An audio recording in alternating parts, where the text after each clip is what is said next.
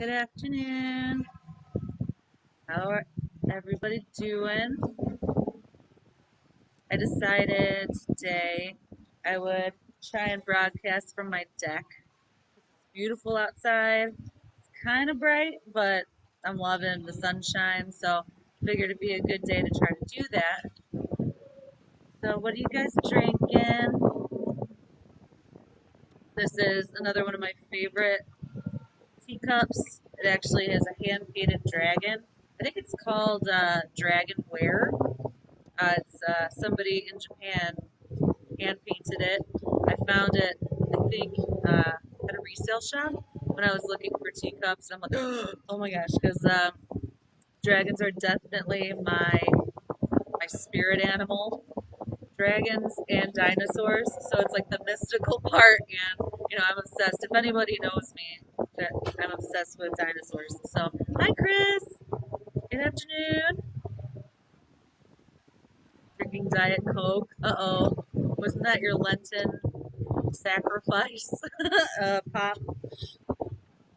You know, it happens. I think uh, I was trying to, you know, cut back on certain things for Lent as well, and haven't really hit the mark most of the time. Is a little windy, so let me know if I need to speak louder. I actually am wearing a little uh, afghan on my legs because it is slightly chilly in the wind, but like I said, I am not complaining about the sunshine and the basically the breeze of just fresh air. it feels good. Um, I am drinking right now. I kept a little tea bag, uh, chamomile and lavender herbal tea from Bigelow again. I usually drink this one when I am gonna go to sleep, uh, but right now it just sounded good to me, just to chill out. Hi, nice. How are you? It is beautiful here. Um, so just needed to chill out today. No more caffeine for me. Need it. what are you grateful for today? See a couple of five people on right now. What are you drinking? And what are you thankful for? What I'm thankful for today is just the continued health of my family. Um, it's been a rough couple of days. Uh, some of you know my wife is an ER nurse, uh, so she is in constant just panic and fear of contracting this disease, this illness, um, from the ones she's trying to protect and to treat. Um, having that threat all the time has really been wearing on us. So I've been trying to keep to my practices of positivity. Um, but I think yesterday was a breaking point. Um, and I don't know if you guys have felt that way. Um, sorry. I don't mean to get emotional. But um, it's just the fear of that unknown of losing your partner, of or even just you know thought. I mean, it just like it overwhelmed me yesterday, and um, I'm assuming some of you have felt that way. So you're not alone. Huh. But I'm constantly trying to get back on track of like, okay, there's no reason to stay fearful. It's not helping. It's making it worse. so just just being like, you know what? I had my cry. I had my freak out. Now I need to move on and stay positive. Grateful for technology that allows me to see my family. That's another one that I've been constantly happy about with Zoom and with Facebook, FaceTime, and everything possible that we can stay connected. Even like uh, one of the guys that I work for, we're going to have a Zoom meeting later because we usually have like a weekly meeting. And I was like, I don't want to bring whatever Jackie might be bringing in to you, so we're just going to, I'm going to help you figure out Zoom so we don't have to do that. Dandelion and chamomile tea. Yes, I haven't had that. I love. I've, always loved thought of dandelions in tea and eating it. Um, it's actually me and Jackie's flower. um, when we were growing up, we played softball together, which is super shocker. Uh, and I used to throw dandelions at her as like a flirting kind of thing. So we always thought it would have been like, you know, if we had a bouquet at our wedding, it should be full of dandelions because that's that's the first flower we gave each other, which is super cheesy, but it's true. Anybody else have cute little stories like that? That make no sense to anyone other than it's that those stories that are just like what you know unless you explain it to somebody it doesn't doesn't comprehend thankful for being able to stay home yeah. a lot of people don't have that option right now so i figured today would since i had my freak out yesterday and i had my crying bout um, I was trying to figure out what I wanted to discuss and to, you know, talk to you guys about. And the only things that I can control right now are the way I see the world, the way I deal with it, and also, you know, there's certain things that we can do holistically to sort of boost our immune system. Um, not necessarily taking all these supplements and doing everything. And, and again, I am not I am not a doctor. I am not a nurse. I am nothing like that. So, all of these things that I'm going to kind of bring in is just from my research um, and also my, my yoga training with Ayurveda, which is actually the sister science of yoga. So, it's the holistic kind of um, science instead of you know just the asana and the meditation it's how to take care of your own body with with just plants and the way that you eat and stuff like that. So, hi, Laura. Love you, miss you. What are you drinking? You got to be drinking some cool tea. You always are. The reason I got into tea is because of Laura, because she's all like, oh, try these things. And I got hooked. So, all right. So, boosting your immune system. So, I made a little list to kind of go over. So, the first one that I've been researching and looking on different articles, the major one is just getting enough sleep. I have been having such an issue, and I've been seeing it in, in my friends' posts as well, of just staying asleep before getting to sleep. Um, I think the way that I'm handling my stress is like having my mind go a mile a minute thinking about stuff I can be doing, that I can be, you know, new content, things to talk about, things to share with people. Um, so I am constantly in this just, again, the hamster wheel in my brain, and it won't shut off at night. And sometimes, you know, I usually I usually try to go to sleep around 10 o'clock at the latest because I wake up seven or eight o'clock with with Deb when she wakes up, and so usually I try to lay down 9 30, 10 o'clock and now it's like I just I can't stop my brain. It's like midnight, one o'clock rolls around, and I'm like, I need to go to sleep. The baby's gonna wake me up soon, you know. So there's really no getting away of like sleeping in or something like that. So I know a lot of you with children can relate, and also with jobs that have to wake up still and go. Actually, drinking yerba. What is that? Yerba mate. I don't know what that is. Explain. Um, but yeah, just just finding a way of calming your mind when you need to go to sleep.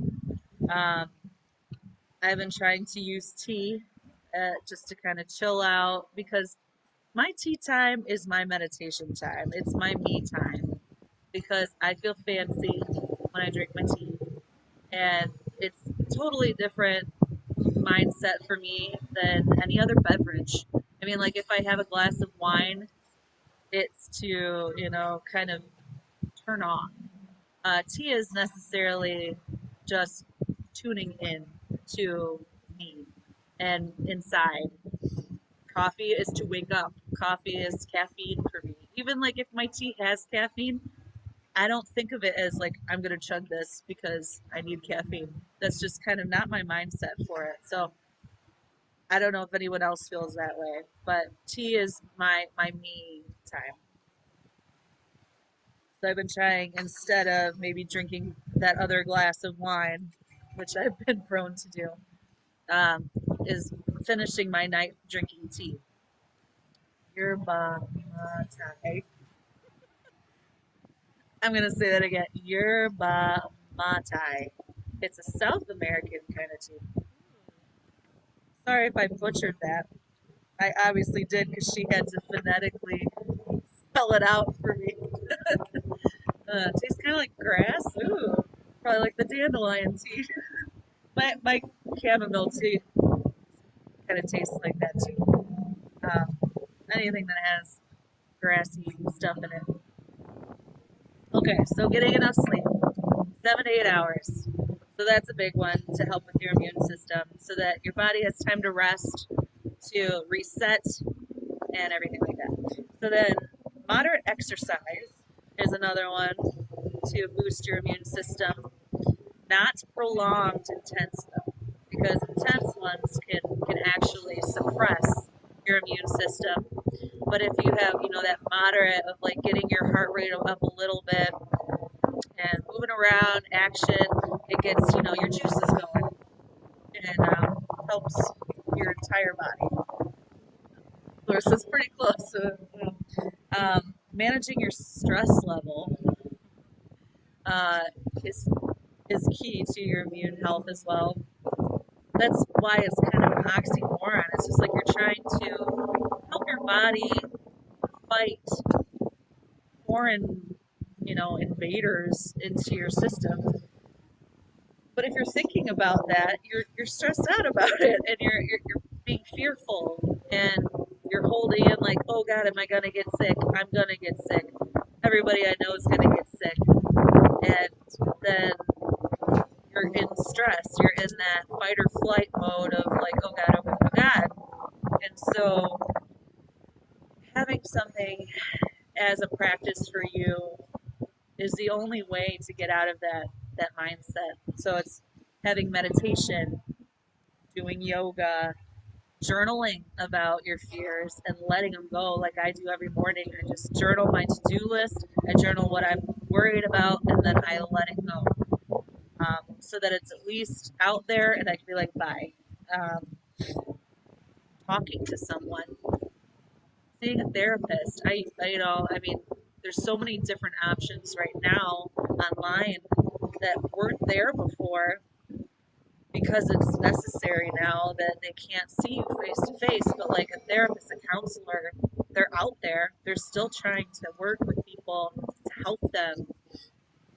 So reaching out to somebody, like if you're if you don't feel comfortable in talking about your fears to your family because you don't want to make it worse for them, I completely understand that. Like I I want to be the strong one and I want to be the positive, uppity, woo person, you know, because that's what I'm trying to be. But sometimes it's just you have to talk to somebody. And sometimes talking to a stranger is so much easier than feeling like you're putting your baggage and your stuff on the people you love and care about. So make sure that you're you're reaching out to somebody even somebody just not in your life all the time can can be helpful just to be like hey i'm really struggling today. How do you feel? You know like having it as like a two-way street. If it's not a counselor just be like hey i've been really dealing with this. I don't know what to do. Are you okay? You know that kind of thing. So just just being comfortable with with reaching out if you need someone and then just eventually just having mindfulness will help with your stress level because then as you're staying in the present moment, you're not thinking about what could be, what could be bad, what could be coming, what's gonna happen to me because I went to the grocery store and I touched something, you know, it's just being mindful of like it I'm okay right now. And if I'm not, if I if I do have this virus my stressing out about it is not going to make it better. It's going to make it worse because that stress state definitely makes your immune system freak out a little bit. So constantly telling yourself, I need to be the one to control how I deal with this because I was dealt this hand and I have to, to handle it. So how am I going to do that? All right, so then the next thing is eating foods high in a couple different things. So they say vitamin C, vitamin D, getting enough sunlight, zinc, elderberry, and garlic. Garlic, I'm super excited about. I could eat garlic, like if I could just cook garlic and eat cloves of it, I would. I love it. Um, in Ayurveda, it's considered the plant of the gods. Um, they have this whole thing where like there was one of their gods, they came and it dropped from the sky like from heaven, you know, and it's amazing and it's such a healing plant and a healing food. So it's it's definitely something in Ayurveda that they talk about all the time. Add garlic, add garlic, you know, to, to a bunch of different things.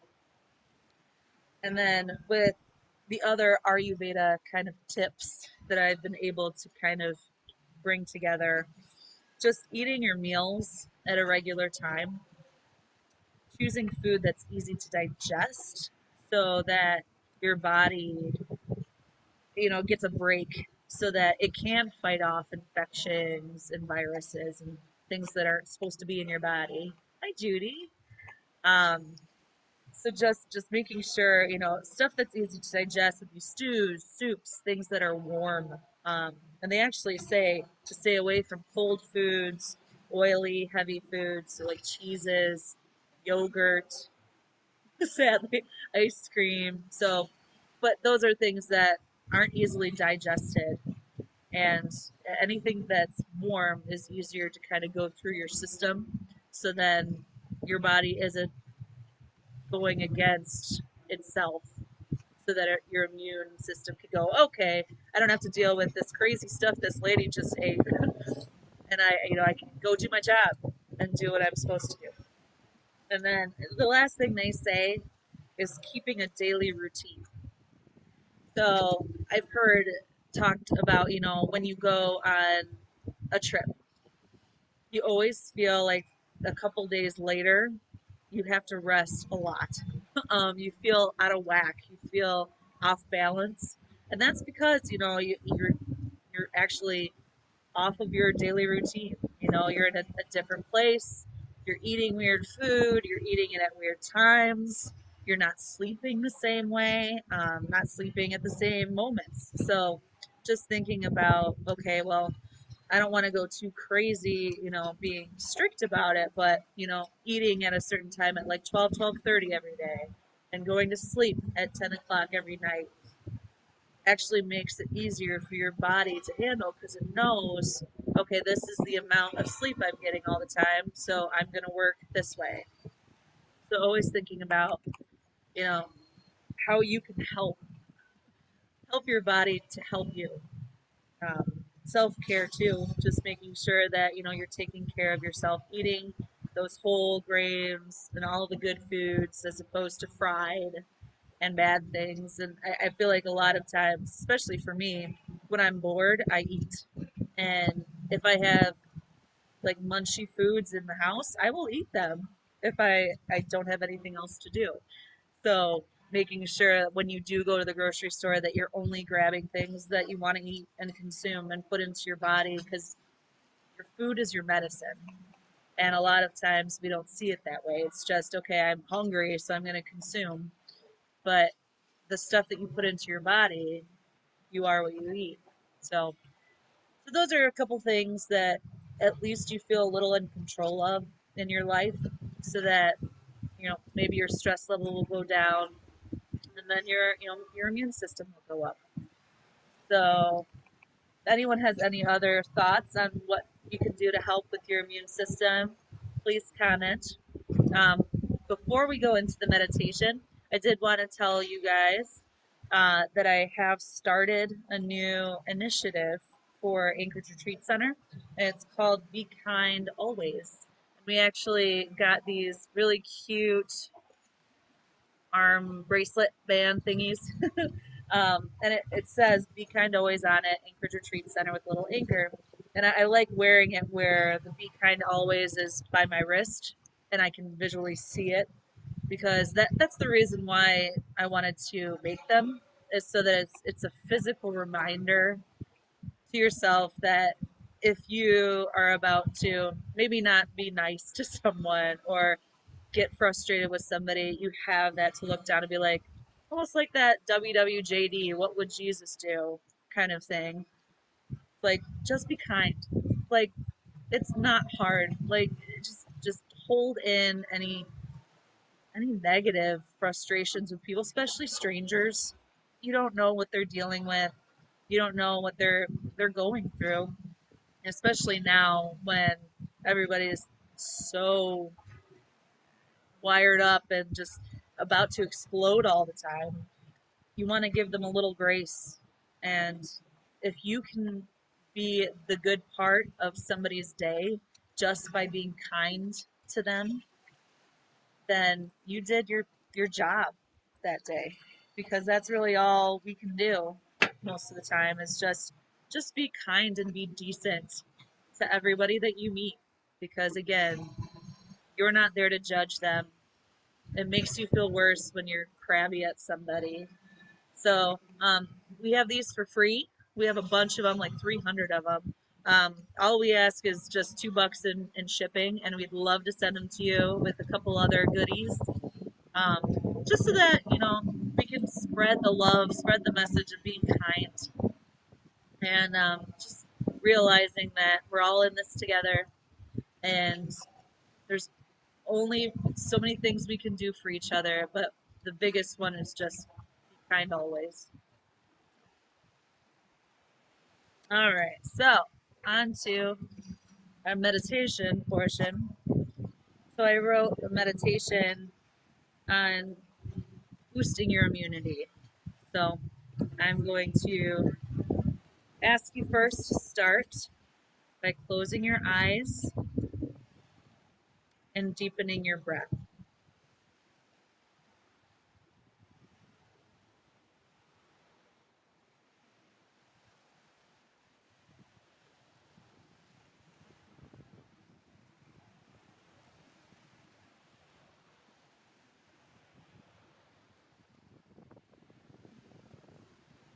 Feel gravity's force on your body, grounding you into the earth.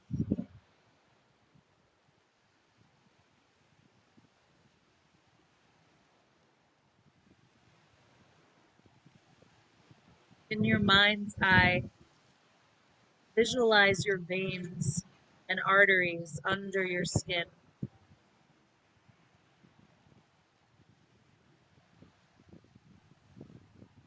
Pathways of your body that your white blood cells and antibodies use come to your aid.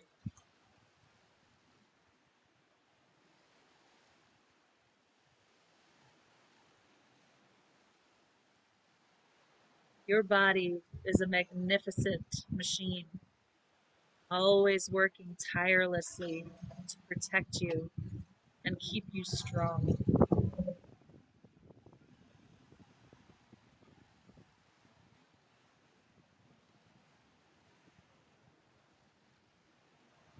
Give your mindful energy to these microscopic superheroes.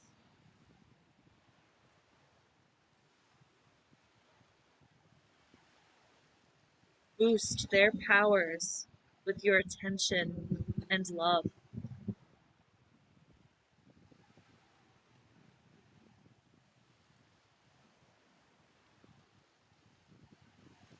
Help them complete their mission by getting proper sleep, eating healthful foods, and silencing the chatter in your mind.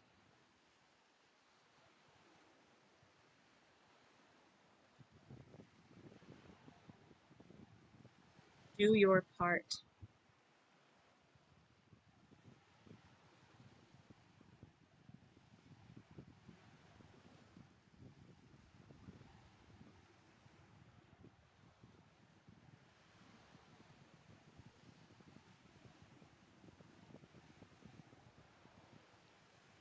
Repeat these affirmations.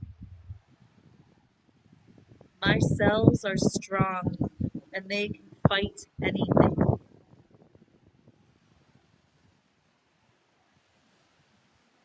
My body works in perfect harmony to keep me energized and well.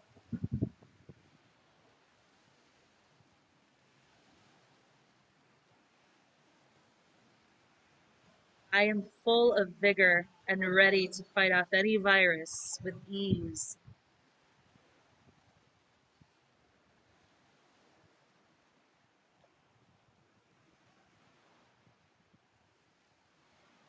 I am healthy. I am happy. I am full of love.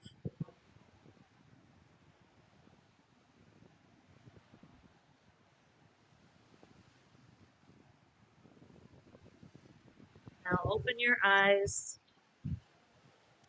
and smile. We're going to be okay. Your body is amazing. It's going to fight for you. Make sure you take care of it. Thank you so much for, for being here with me. Remember to join our Be Kind Always initiative. It's a group on our page. Love and light. Namaste. Have a good day.